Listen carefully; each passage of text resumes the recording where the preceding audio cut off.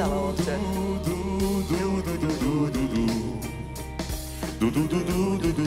Aj, Dika pleši i ti.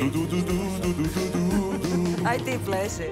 A vidi vraga, baš kako su javili sinoć na vijestima sunce jutros Izgubilo sjaj Stvarno bliži nam se kraj, moram priznat Čudan osjećaj kažu Sinoć su se iznenada otvorila vrata Te nepoznate dimenzije negdje pored Marsa Iz njih je izletija ogroman asteroidi Sad juri prema zemlji kažu nema nam spasa. Neki govore to smo prizvali sami. Dok drugi tvrde to je božija kazna Ja se pitam koliko astronomski mala je mogla biti ta šansa? Ali opet dobro da je danas na radni dan A ja ću ostati doma uski dan. Apokalipsa sa vašeg balkona Rezolucija perfektna. Kristalan sound surround all around when it hits the ground.